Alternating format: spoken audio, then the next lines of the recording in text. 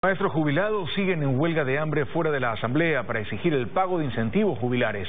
Sus representantes mantienen diálogos con enviados del Gobierno y del Parlamento. Nos contactamos ahora con María Isabel Carminiani para que nos cuente qué pasa en ese lugar en esos momentos. ¿Qué tal?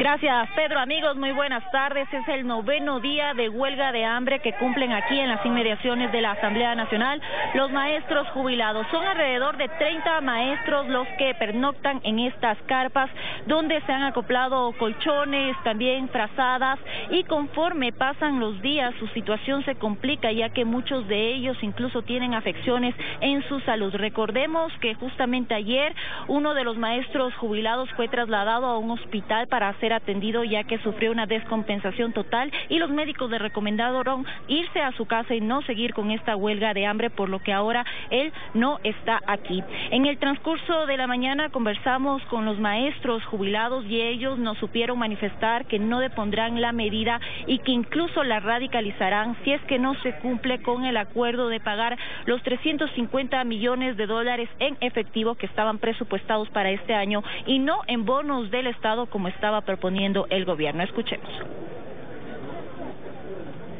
Yo he tomado la decisión, porque no nos hacen caso, que el 10 de agosto, que se conmemora aquí la, eh, el primer grito de la independencia de, América Latina, yo me voy a crucificar en la Plaza Grande, con clavos, no con soga.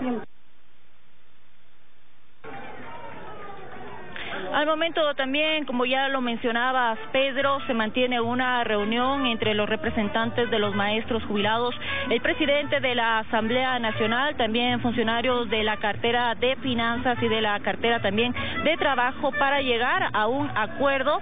Se han presentado algunas propuestas, sin embargo, estas todavía no han sido aceptadas por los maestros jubilados, entre ellas, por ejemplo, una posible contribución por una sola vez de parte de la ciudadanía para pagar las compensaciones o que se haga un prorrateo en pagos mensuales para los grupos prioritarios. Esperemos que finalmente luego de esta cita salga humo blanco y que los maestros jubilados finalmente se puedan retirar a sus casas. Con esta información me despido deseándoles que tengan una buena tarde. Volvemos con más noticias estudios. Gracias, Marisabel, por ese informe.